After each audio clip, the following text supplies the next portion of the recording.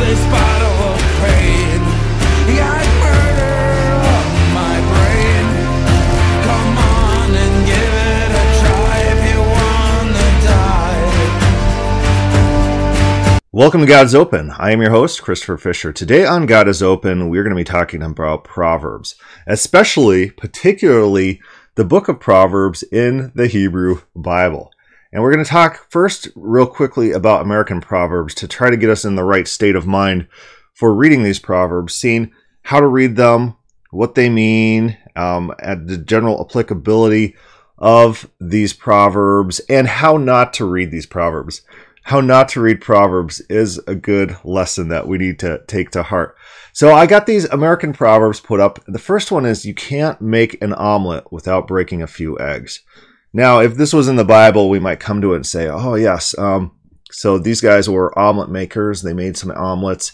And uh, there's a principle that you do have to break your eggs before you make the omelet. Not what this is about whatsoever. This proverb, although it uses words like omelet and eggs, it's not about omelets. It's not about eggs. I think this this proverb was uh, coined by Robespierre during the French Revolution, where they took anyone that they saw was in uh, the upper classes and they executed them. And his meaning of the phrase was you can't get to your goal end state society without killing a few people. And Stalin would adopt this uh, proverb as well for his reign of terror, in which he murdered millions of individuals. And so the general general meaning of this is you can't get to an end state without doing a few undesirable things. But this is not about making omelets. It's not always about mass murder, although it's been used for mass murder. Maybe maybe it's uh, something in business. You can't get to your end state of your business without some bad things happening. You having to go through some trials and tribulations, doing some undesirable things to get to your end state. How about this next one? Don't put all your eggs in one basket.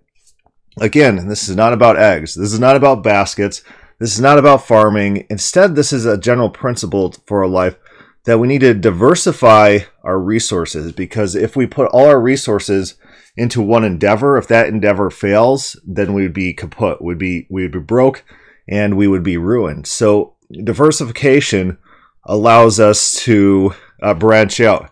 But but notice something about these proverbs: they're not universally uh, exportable. They they're not they're not metaphysical truths. And so if someone went all in in Bitcoin back in the the the 90s and early 2000s or whenever Bitcoin started, they'd be a multimillionaire today. And so it would have worked out for them. And some people have. They're called Bitcoin millionaires. Um, and so this is not always true but it's general rules, general advice to how how to live your life in the best possible way to maximize your benefit. That's what these proverbs do. They give us general rules of thumb, which are not universally true, but just generally general instructions, general ideas for life. There's more than one way to skin a cat. Whenever I hear this, I've heard this quite often in my life. It's never about skinning cats. I don't know anyone who's ever skinned a cat. I don't know any cat that's ever been skinned, anything like that. Um, but this phrase in American, in our proverbs, means that there's more than one angle of approach to the same problem. There's multiple avenues where you could reach the same objectives. There's more than one way to skin a cat. Again, not about cats. It's about general applicable concepts to life. So now let's turn to the Bible. We will look at the book of Proverbs and we'll just kind of read through some of the Proverbs and to see how they're being written and what they mean generally. How about this? 17.1 Better is a dry morsel with a quiet house than a house full of feasting with strife. And the idea of this proverb is you know, being rich is all nice and good and all, but uh, not if you're living in a chaotic, crazy house. There, there's the proverb where it's better to live in on the roof of a corner than with a quarrelsome wife. Also, also true. What what the idea is, don't marry, don't don't uh, get involved with uh, bickering women, because it'll make your life misery misery and it's better to live alone uh, or paul says he says uh, sometimes you, you don't have to marry you could be single And uh, not my advice for people, but Paul's advice for people to stay single. But but that is a general truth, not not not not hundred percent universal. So I'm, I'm sure there's some situations in which a dry morsel does not beat feasting with strife. Uh, like if you're starving or something like that, you, you probably might want that full feasting. But the general idea is there. The general idea is exportable to multiple areas of life. It doesn't even have to be about food. It could be just like you have a nice, quiet room. You, are living in um, poverty, and you know that's probably better for you.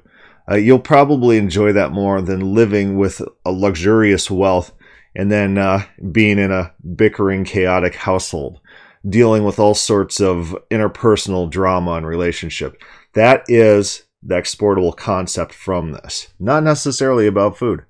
The crucible is for silver, the furnace is for gold, and the Lord tests the hearts. So, what this proverb is doing is it's drawing parallels between fa- fairly different concepts. There's refining process in, in silver and gold to drive out impurities, and God acts in that fashion towards us. Remember, this is just a general proverb, so it would be probably a huge mistake to say that uh, God does this to all people, everywhere, always. Just the general concept is God refines people's hearts, just like crucibles do silver and furnaces do gold. Here's one Fine speech is not becoming to a fool, still less is false speech to a prince.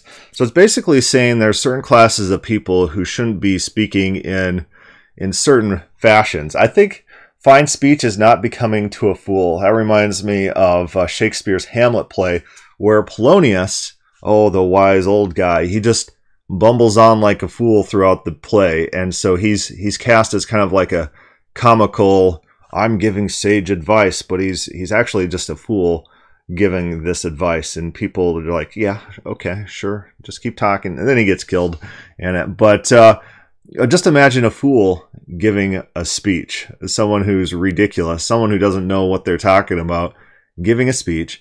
Fine speech is not becoming to the fool, still less is false speech to a prince. So, rulers, not necessarily princes, but people in positions of power, should execute integrity. They should not lie to people.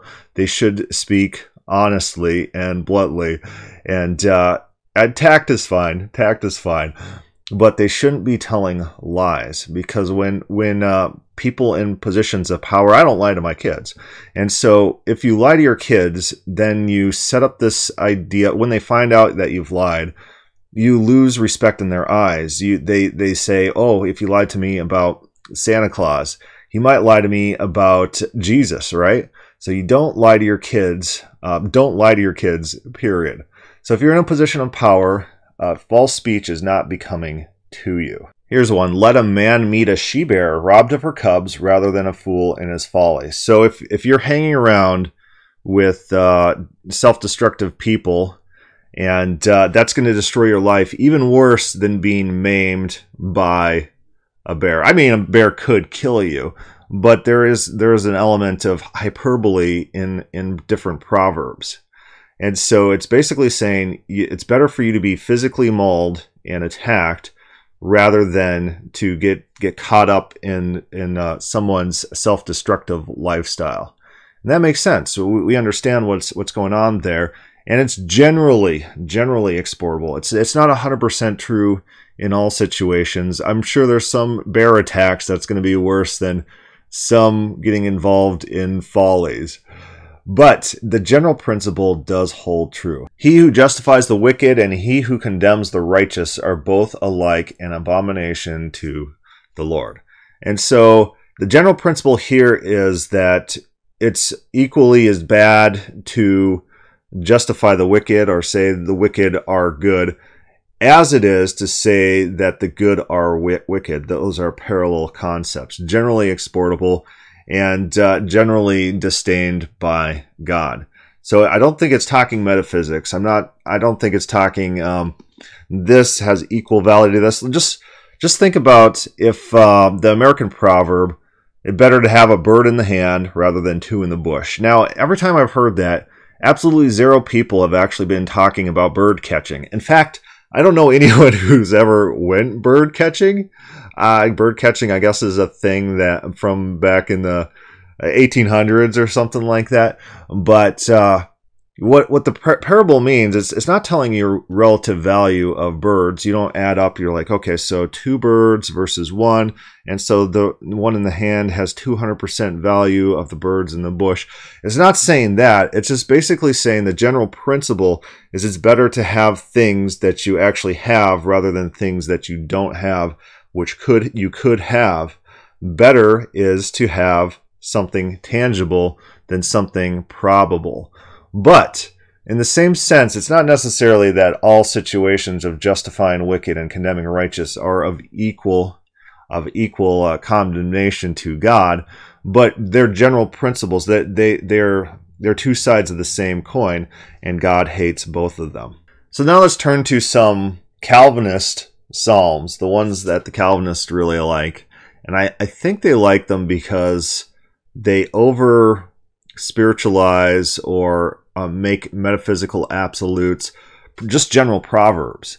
And so it, it kind of says something that they like. And so um, then they latch onto it and they say, this is a metaphysical absolute. So they don't treat it in the same fashion that we would treat all the other proverbs we've already re- read. Even the proverbs that we read from the book of Proverbs, we understand they're telling loose truths. There's some hyperbole used sometimes, and it's generally applicable. In some some situations, not applicable. They're just general proverbs. We understand how proverbs work, and just using American proverbs as an example, a bird in hand is better than two in the bush.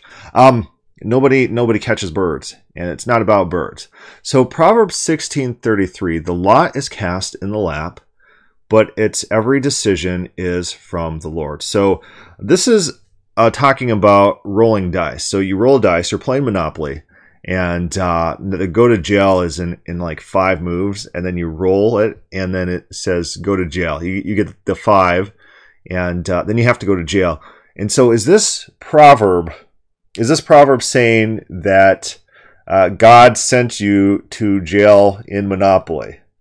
I don't think so. I, I don't. I don't particularly think that this is about Monopoly dice rolls at all, even though it talks about dice. Remember, a, a bird in the hand is better than two in the bush is not about birds.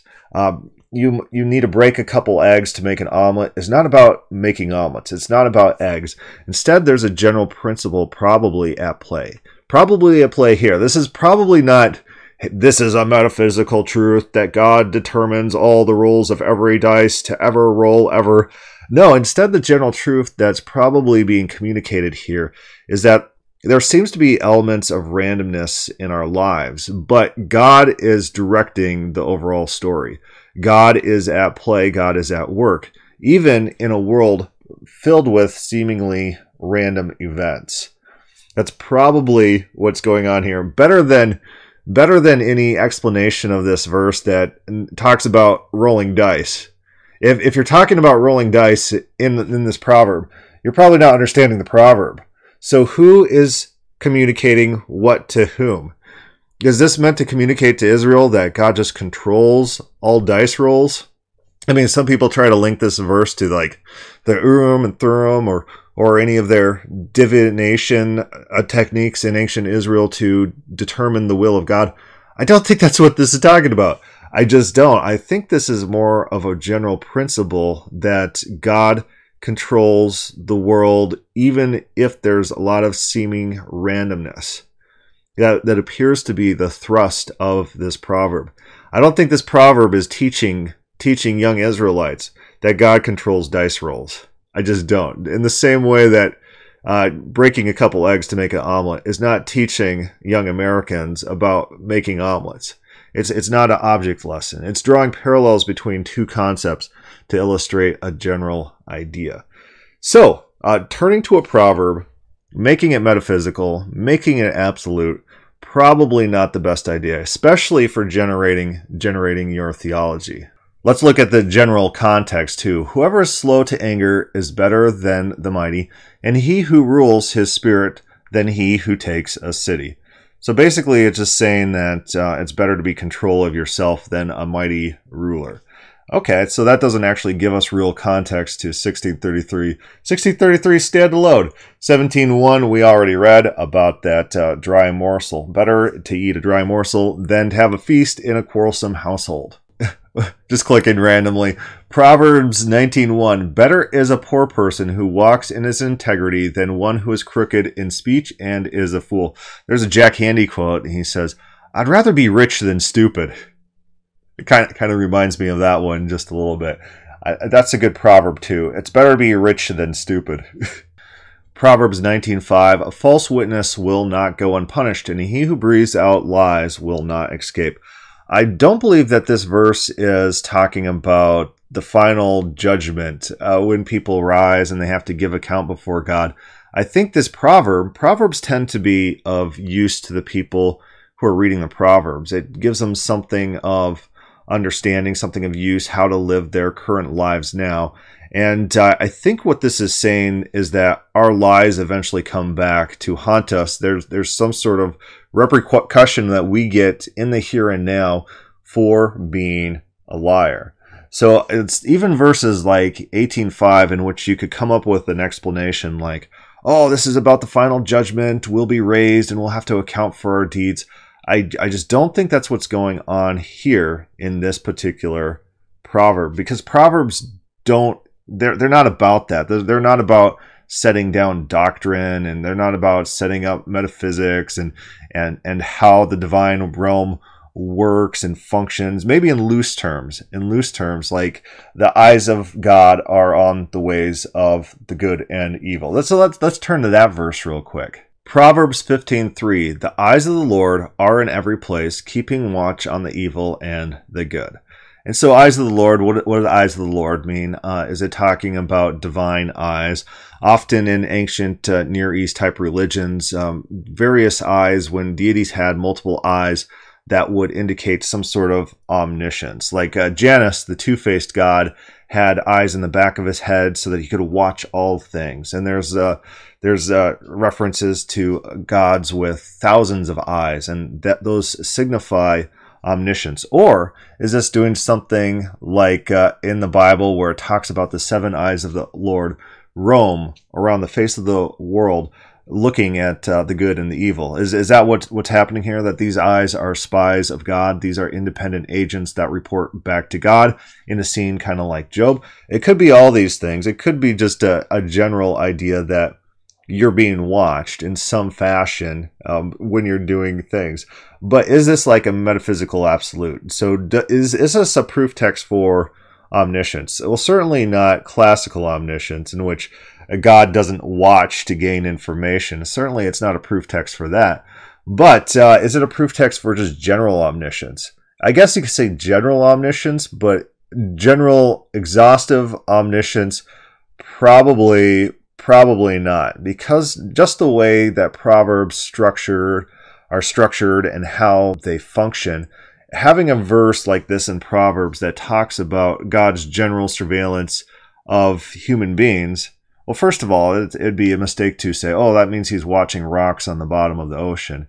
That would be a mistake. And it would even be a mistake to just think this is about all people all their actions are always being recorded in some fashion somewhere.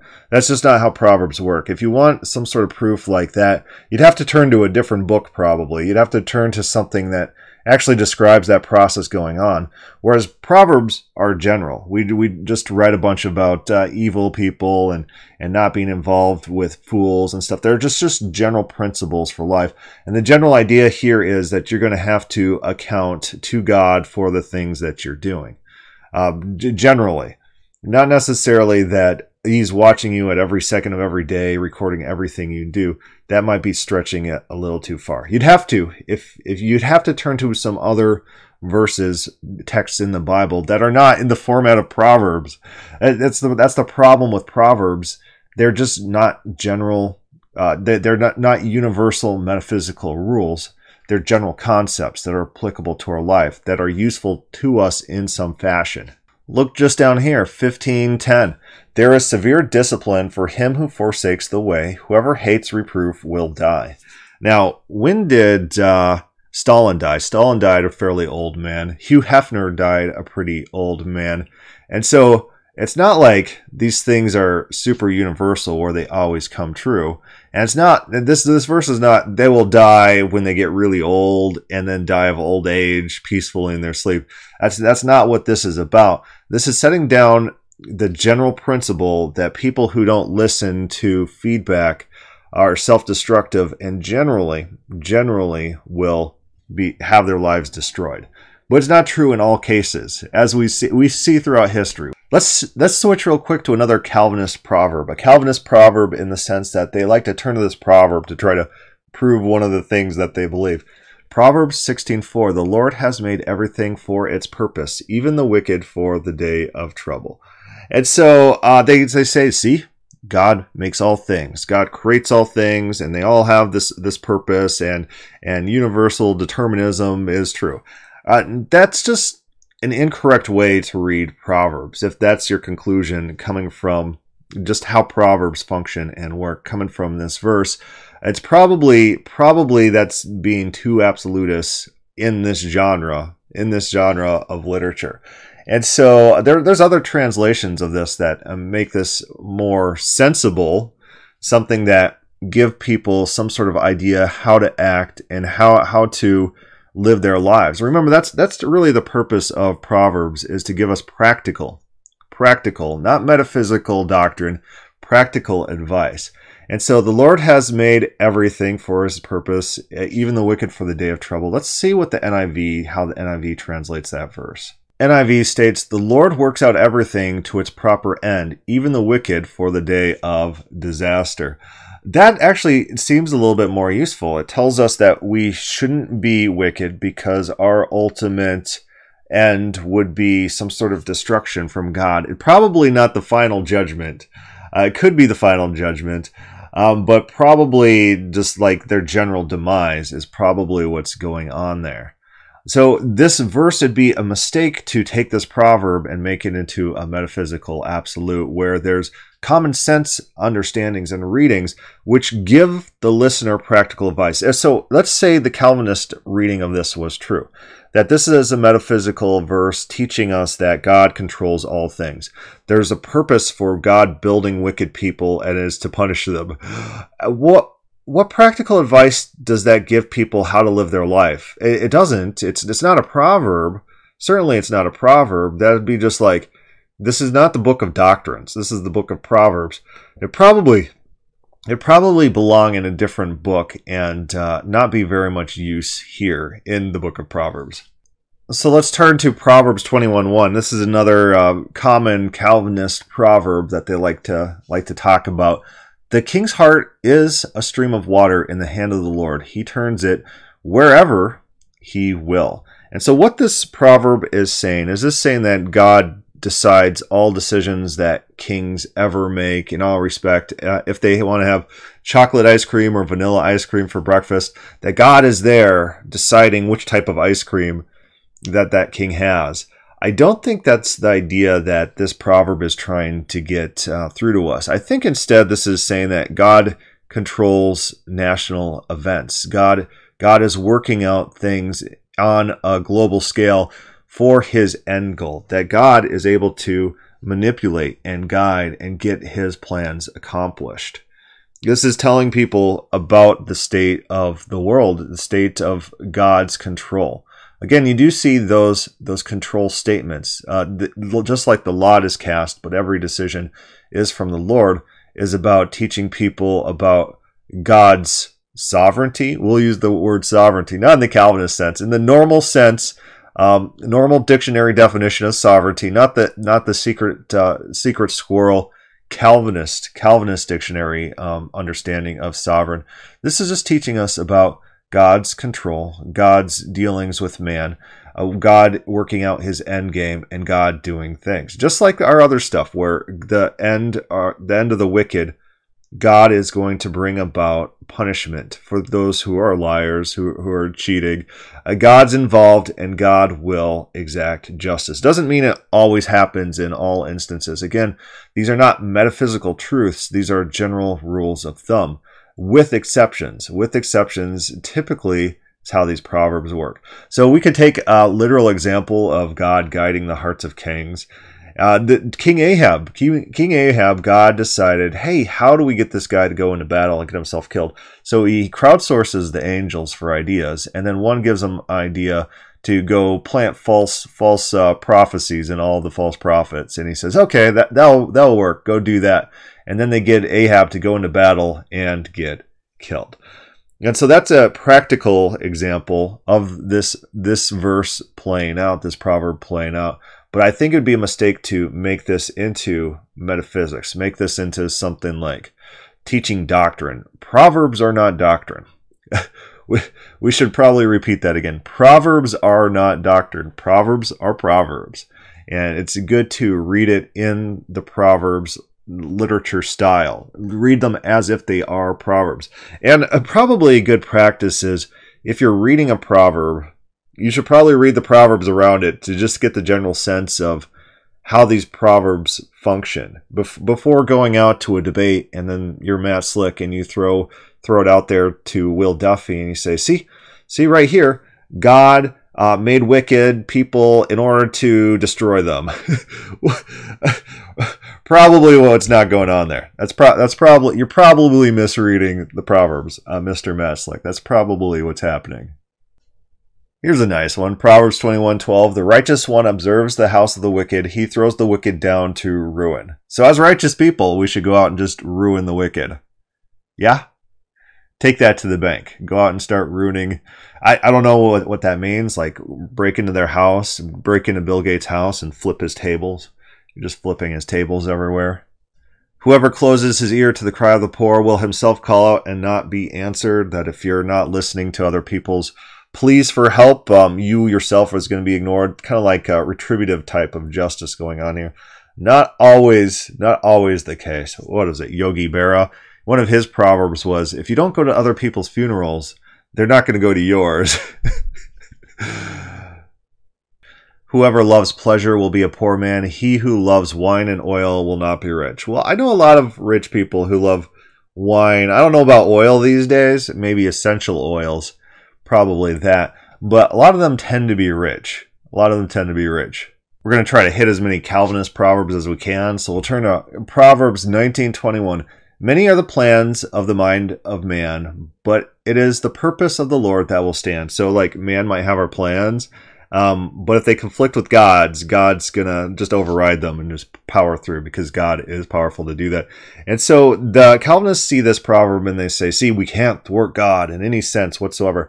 Because they're making it a metaphysical absolute. Probably, probably not. This is probably about God's going to generally prevail over us when it comes to any struggles of will or conflict or or making the right things happen. But one thing God can't do throughout the Bible, He cannot do, is uh, get wayward Israel to come and return and repent to Him. He says, How often uh, I wanted to hold you, you know, like the hen holds her chickens, but you were not willing.